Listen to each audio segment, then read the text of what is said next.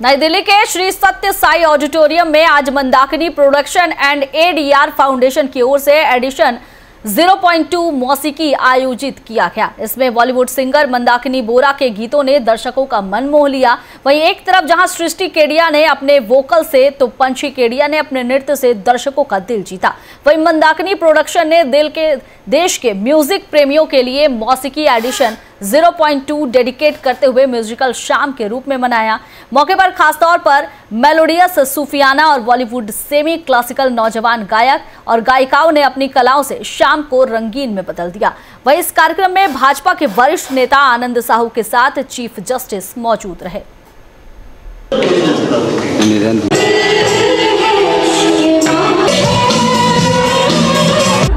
और आज ये जो मौसीकी हम लोगों ने जो आज पार्ट टू यहाँ पे एक लाइव परफॉर्मेंस का हम लोगों ने मंदाकिनी प्रोडक्शन के द्वारा ये आज आयोजित किया जा रहा है। सो so, ये बेसिकली यही है कि इस परफॉर्मेंस में हम लोग वेरियस जितने भी आ, हमारे आ, अपने अपने रीजनल में गाँव में अपना अपना भाषा एंड अपना अपना जो चीज़ है उस चीज़ को हम उभरते हुए जैसे मैं आसाम की हूँ तो मैं कोई लिमिट नहीं है।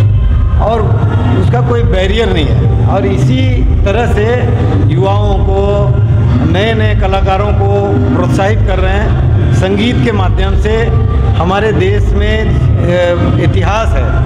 आज पूरे दुनिया में हमारे विश्व भर के देशों